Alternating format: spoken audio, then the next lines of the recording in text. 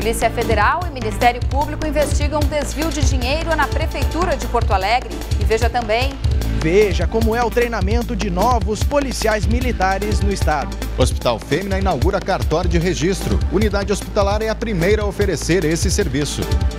Divulgado o primeiro balanço da Operação Golfinho, aumenta o número de apreensão de drogas no litoral e a preparação para a segunda rodada do Gauchão. Boa noite, fique com a gente. Começa agora o Ubra Notícias.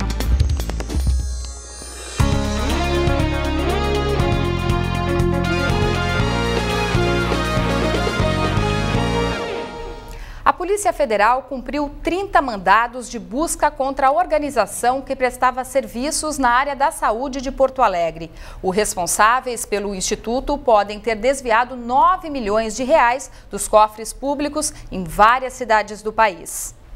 O Instituto Solos foi contratado pela Prefeitura da capital para atuar nas unidades básicas de saúde junto ao Programa da Saúde da Família. O acordo de dois anos fechado com a entidade de Sorocaba, em São Paulo, é chamado de OCIP, uma organização da sociedade civil de interesse público, que presta serviços sem fins lucrativos.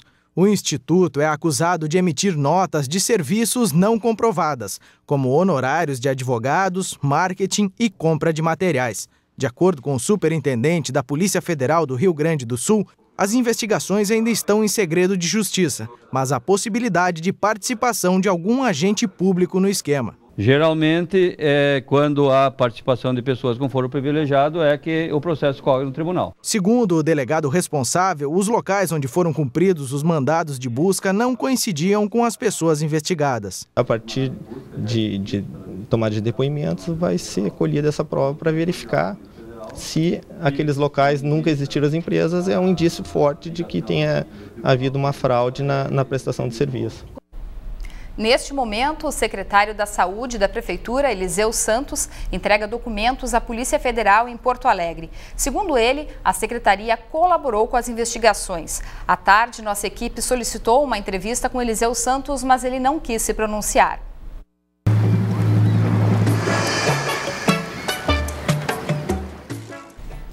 Brigada Militar divulgou hoje em Tramandaí o primeiro balanço da 40ª edição da Operação Golfinho. Para muitos veranistas, não basta aproveitar o litoral de forma consciente. Alguns não respeitam o limite de segurança no mar estabelecido diariamente pelo salva-vidas. Às vezes a pessoa olha ali bandeira vermelha, que é um banho que a gente não recomenda nem que entre no mar para tomar banho e a pessoa não, não simplesmente não atenta para esse cuidado, entra, acaba pegando uma corrente de retorno e aí querendo retornar e acaba é, precisando é, ser efetuado um salvamento. Em 28 dias de Operação Golfinho, mais de mil banhistas foram socorridos do mar. Quatro pessoas não saíram com vida. Somente no litoral norte gaúcho foram mais de 933 salvamentos. O feriado prolongado de Ano Novo foi o mais complicado até agora. 633 pessoas foram retiradas do mar devido à imprudência dentro da água. Somente no primeiro dia de 2010 foram 261 salvamentos. Entendemos que vai lotar muito o litoral. Então, a nível de salva-vidas, nós já estamos acertando, porque nós temos 100% dos nossos salva-vidas é, no litoral, né, na, na, nas guaritas. As maiores ocorrências acontecem com adolescentes entre 16 e 20 anos do sexo masculino. Aquela fase do jovem, né, do, do, do adolescente que quer desafiar o seu limite e então ele acaba indo além daquilo do, do que ele tem a capacidade, ou quer demonstrar alguma coisa para alguém, ou quer se autoafirmar. Para evitar maiores transtornos e um retorno antecipado das férias, basta seguir algumas orientações observar a bandeira, né, a bandeira vermelha, pedimos para eles evitem entrar no mar, já que é, é, é, é uma situação de mar muito perigoso, né, e ao mesmo tempo aquelas situações em que o, o nosso pessoal não conhece o nosso mar. Água no umbigo, o pessoal já tem que ter um cuidado, é um sinal de perigo. Mais notícias do litoral você confere ainda nesta edição. Crianças de canoas que frequentem a escola podem se tornar bombeiros ambientais. Elas vão participar por nove meses de aulas de combate a incêndio, salvamento terrestre e primeiros socorros. Podem participar meninos e meninas com idades entre 10 e 12 anos. Os responsáveis devem fazer a inscrição na sede do Corpo de Bombeiros de Canoas do dia 1 ao dia 5 de fevereiro. A seleção vai ocorrer por meio de sorteio. Veja a seguir a previsão do tempo e ainda hoje os preparativos para a segunda rodada do Gauchão.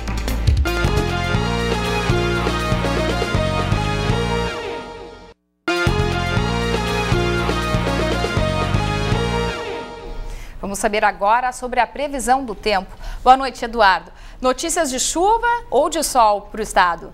Boa noite, Cris. Olha, parece que as chuvas estão com os dias contados. Como a gente pode ver na imagem agora, aqui do centro da capital. Ah, o dia pareceu chuvoso, mas ah, o sol, né, parece que o sol faz sol agora em Porto Alegre e 24 graus na capital. Hoje o dia foi mais seco no estado porque o ciclone extratropical que causou tanta precipitação está uh, se afastando. A tendência é que o final de semana seja ensolarado. Acompanhe a previsão para amanhã. Na quinta-feira, o tempo vai ficar firme em quase todo o estado. Apenas em partes do litoral norte, Serra e Grande Porto Alegre ocorrem chuvas fracas até o fim do dia. O sol vai garantir temperaturas mais altas. A máxima chega aos 31 graus em Uruguaiana. Em Porto Alegre, sol entre nuvens e chuviscos até o fim do dia. A máxima chega aos 27 graus. Por litoral, mar calmo e menos vento partir de sexta-feira, dia ensolarado e temperaturas altas em todo o estado, Cris. Obrigada, Eduardo. Boa noite. Boa noite.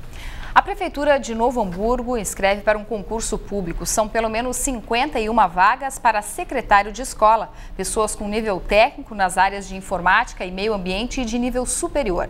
Os salários variam de R$ 1.300 a R$ 3.400. Interessados devem acessar o site que aparece no vídeo. As taxas de inscrição variam de R$ 38 a 65 reais. As inscrições ficam abertas até o dia 8 de março. A prova vai ser aplicada no dia 21 do mesmo mês.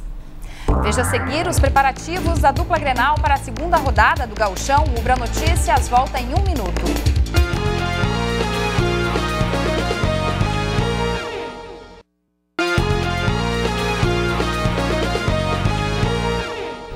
As apreensões de cocaína realizadas no litoral norte desde a segunda quinzena de dezembro já ultrapassam a quantidade confiscada pela polícia no ano passado. Os agentes da segurança estão desenvolvendo abordagens em vilas e pontos de tráfico de drogas no litoral gaúcho, desde o início da Operação Golfinho. Nós fizemos uma primeira atuação em que nós fizemos uma apreensão de droga, mas que pegou aí praticamente onde 500 quilos de maconha, que o destino era o litoral. Nós cortamos lá na entrada da fronteira do estado do Rio Grande do Sul. Segundo a Brigada Militar, o patrulhamento frequente nos três turnos do dia inibe a ação dos traficantes de drogas e armas questão de sete dias, nós tivemos mais ou menos 15 presos. Fizemos mais de sete prisões aí por, por tráfico de entorpecentes. Apreendemos armas também. Então, o tráfico ficou um pouco retraído, né? Desde 19 de dezembro do ano passado até 15 de janeiro, a polícia já apreendeu mais de 5,5 kg de maconha e 3,210 kg gramas de crack. Proporcionalmente, a cocaína foi a droga mais apreendida foram 544 gramas, um aumento de 865% em relação ao mesmo período do último verão. Este é o bairro São Francisco, um dos mais violentos de Tramandaí. Aqui o tráfico de drogas é intenso. Os traficantes ficam nesta rua aguardando os consumidores para negociar os entorpecentes. A comercialização acontece principalmente no período da noite. Os moradores não conseguem nem mais dormir devido ao barulho e da grande quantidade de pessoas que procuram o local para usar drogas. Os taxistas vêm buscar, cara, é livre, é à vontade. O movimento na madrugada fica intenso aqui. Fica muito barulho, intenso, muito barulho, não dá mais para dormir. As redondezas aqui tá difícil. Isso preocupa, revolta? Não, claro que preocupa. A gente trabalha né, o dia inteiro. E não... O senhor teme alguma coisa? A gente teme pelos próprios filhos, por, pela, pelo povo, pela população, porque olha aqui, ó, dá briga, dá ameaças, dá gritaria. Quer dizer, daqui a pouco não sabe o que acontece. Dá tiroteio também? Já deu várias vezes tiroteio, brigas. Quantas vezes? Enfim, como é que faz? Não, Faz. A polícia, quando vem, o cara já está no chão. Segundo a polícia, todos os possíveis pontos de tráfico de drogas já foram mapeados pelo grupo de inteligência da Brigada Militar. Sempre atenta. Começa hoje a segunda rodada do Campeonato Gaúcho com seis jogos. Às 10 para as 10 da noite, o Inter vai a Canoas encarar o Porto Alegre e aposta no bom entrosamento entre os garotos do Inter B para somar mais três pontos. Olhando assim, eles até parecem diferentes, mas possuem algumas coisas em comum, a começar pelo sobrenome. Walter Henrique da Silva, data de nascimento 22 de julho de 89, em Recife, Pernambuco. Posição: centroavante. O garoto de 19 anos já mostrou que tem faro de gol. Ao lado dele, outro jogador com característica idêntica, Leandro Damião da Silva dos Santos, também nascido em 22 de julho de 89, em Jardim Alegre, no Paraná. Outro que também conhece o caminho para balançar as redes. Com tanta coisa em comum, a parceria só poderia resultar em gols, como os do último domingo. Leandro garante que as semelhanças não prejudicam, pelo contrário. A parceria tá forte, porque eu e ele sempre até na concentração, sempre conversando no jogo, porque os dois são, são centrais, né? São centroavante.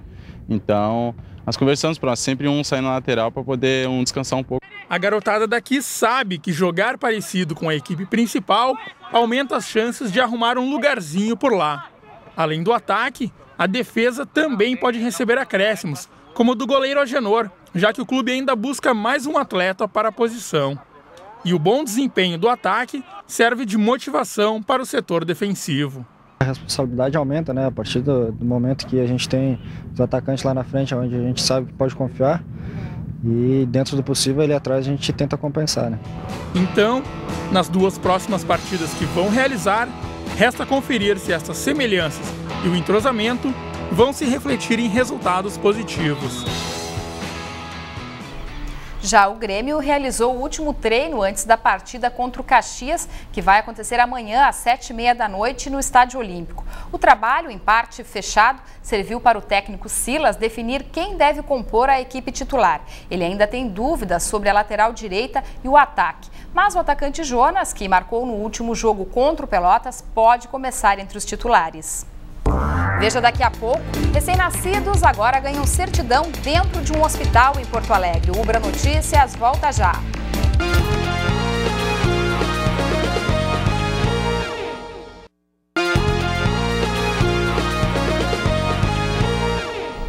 A Brigada Militar está treinando 3.800 novos brigadianos para atuarem nas ruas do estado. O curso de formação vai ser concluído no final de abril. Mas em que momento um policial está pronto para atuar? É o que nossa equipe foi descobrir. Confira na reportagem de Marcelo Steffen e Walter Castanho. Os alunos da Academia da Brigada Militar começaram o curso no início de outubro. O treinamento de seis meses é dividido em módulos teóricos e práticos e habilita os soldados a atuarem em qualquer situação. No último sábado, 22 alunos participaram de uma ocorrência em Canoas. No confronto com a polícia, dois criminosos foram mortos e o terceiro, ferido, acabou preso. O sucesso do cerco policial levanta uma discussão. Será que esses brigadianos estariam preparados para participar de ações como esta? Mesmo faltando três meses para a formação, os alunos se sentem preparados para atuar na rua. Eu me considero preparado. Com as instruções, nós estamos sendo muito bem instruídos certo? Nossos instrutores são muito capacitados. Eu me considero particularmente preparado. Com a capacitação e treinamento que nós estamos tendo, né, e com a necessidade da comunidade e o comando pedir, eu me sinto preparado para atuar. O comandante da academia diz que qualquer policial militar que participa de uma ação conhece seus limites. O major comenta ainda que até os brigadianos mais antigos se deparam com situações inesperadas tanto os, os alunos em formação quanto os policiais militares que já estão formados, eles sempre agem uh, sob supervisão e com consciência perfeita dos limites né, de atuação. Já para o Coronel Mendes, ex-subcomandante da Brigada Militar no Estado, a situação da segurança pública exige que os soldados sejam colocados nas ruas para dar segurança à população. Acredito né, que eles já estão preparados para fazer esse enfrentamento e é isso aí mesmo. Tem que fazer, tem que prender, né? tem que abordar, tem que tomar iniciativa. A população espera uma polícia sempre proativa, né? fazendo um combate firme com relação à bandidagem. É isso que se espera, é isso que todos nós esperamos. Para este professor especialista na área de segurança e violência, a sociedade necessita de mais policiamento. Mas colocar policiais militares com pouca preparação na rua cria uma falsa sensação de segurança nas pessoas. Que pode ser pior, mas vezes que, como vimos nessa semana, eh, esses policiais podem, involuntariamente, estar envolvidos em situações de risco sem a devida preparação. Foi inaugurado hoje o primeiro cartório dentro da unidade hospitalar de Porto Alegre. Com registro gratuito, nenhum recém-nascido vai deixar o hospital sem a certidão de nascimento. Com iniciativa do hospital, foi disponibilizado no sexto andar um local para a instalação do posto do cartório de registro da primeira zona. A primeira criança a ser registrada dentro do próprio hospital foi Evelyn, que nasceu às 22 horas e 36 minutos do dia 17, com 3 quilos e 115 gramas. A inovação foi louvada pelos pais. Uma excelente mesmo alternativa que o hospital está dando para nós, ou para quem os outros que vão sair agora, né? A partir dessa data. Com a sua felicidade e ir para casa com ela curtir bastante. Em seguida, outras crianças foram sendo registradas, como Israel, que nasceu às 20 horas e 18 minutos do dia 18, pesando 2 quilos e 525 gramas. A mãe destacou a importância da facilidade. É bem mais fácil ter que registrar aqui, tu tem que sair daqui e ter que registrar ainda, né? E tem muitas mães que saem daqui e nem registram seus filhos, né? Isso foi muito importante. O Hospital Fêmea realiza por mês cerca de 400 partos. Para a realização do registro de nascimento, os pais devem estar de posse da declaração de nascido vivo. E em menos de 10 minutos está pronto o documento. Toda mãe ela permanece no hospital no mínimo por dois dias, né? Por isso, inicialmente talvez não haja necessidade de abrir todos os dias. Então nós vamos fazer essa experiência. Se não for suficiente, aí abriremos todas as manhãs. Né? Já a partir deste momento, nós estaremos segundas, quartas e sextas, das nove ao meio-dia. No estado já existem postos de atendimento em maternidades de Passo Fundo e Sapucaia do Sul. A superintendente do Grupo Hospitalar Conceição espera que a iniciativa seja seguida por outras instituições. É a perspectiva das mães, dos pais já saírem daqui com aquela vida que explodiu garantida a sua cidadania. Eu existo, eu sou um futuro cidadão desse país. E um detalhe: só podem ser registradas no hospital as crianças nascidas nele. E você pode fazer parte do jornal, mande sua sugestão para a gente. O Bra Notícias fica por aqui. Nós voltamos amanhã.